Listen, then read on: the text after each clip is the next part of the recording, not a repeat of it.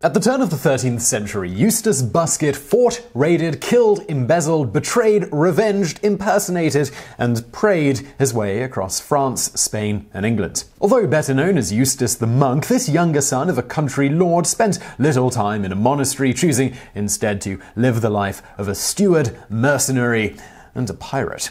Born in 1170 near Boulogne in France, Eustace's story really begins in Toledo, Spain, where he is rumored to have studied black magic, and according to the contemporary work of Histoire des Ducs de Normandie, no one would believe the marvels he accomplished, nor those which happened to him many times. Ultimately, giving up his parlor tricks, he soon decided to join the Benedictine monastery at St. Samer Abbey near Calais. At some point around 1190, Eustace's father was murdered. Eustace left the Benedictines to seek revenge against Hanfroy de Hersingen, the supposed killer. Agreeing to duel through surrogates, Hersingen's champion won, and thus the trial by combat acquitted him of the charges. With his failed revenge and now preferring life outside of the monastery, Eustace next went to work for Count Renaud de Dammartin of Boulogne as his steward, peer, and bailiff. Most important for the future life of Eustace, his duties included oversight of the Count's property. After Herensingen instituted a plot to discredit him, the Count asked for an accounting, and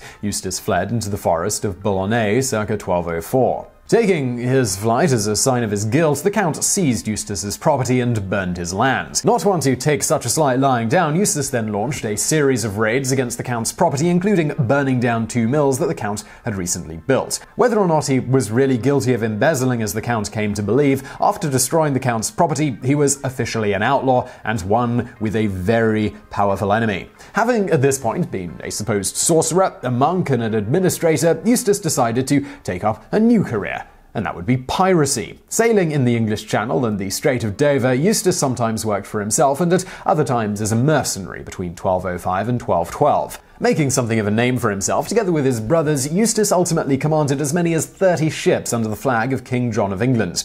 Raiding along the coast of Normandy and the Channel Islands, he and his brothers established several bases on the islands, including the Castle Cornet in Guernsey. Not satisfied with the tremendous spoils he'd accumulated thus far, around 1212, Eustace began playing both sides, raiding along the English coast as well. At this same time, the Count de Dammartin struck an alliance with King John. Officially switching sides at this point, Eustace took his skills back to France, where he found work with Prince Louis. Together, they supported the English rebellion in 1215 to 1216, when King John refused to honor the negotiations that culminated in the Magna Carta, with the idea that Louis would eventually take the English throne. King John died, however, and with the rise of Henry III, the rebellion lost support. Undeterred, in August 1217, France sent its fleet across the Channel, led by Robert de Courtenay, with Eustace as an admiral of its 70 plus ships, some of which were heavily overloaded, bearing weapons, men, and horses. The English were prepared and met the French fleet at Sandwich. Seizing control of the fleet from Eustace de Courtenay, ordered the ships into an ill advised attack, losing the wind, and the French fleet suffered serious losses due in no small part to the English releasing lime into the wind, which blinded the French troops. Eventually, de Courtenay and the knights were taken for ransom, and the regular soldiers were simply slaughtered. As for Eustace, he was found hiding in the bilge of his ship. As with the other notables captured in the battle, he offered to pay a fortune in ransom for his release, but the irritated English, whom Eustace had betrayed only a few years before, decided to not take the money in his case. Instead, they tied him down and had a man by the name of Stephen Crabbe lop off his head. In the largely fictional 1284 work covering his life, The Romance of Eustace the Monk, it concluded of his death No man can live long who spends his days doing ill. Eventually, Louis relinquished his claim to the throne of England, and Eustace and his brothers were dispossessed of their Channel Islands lands.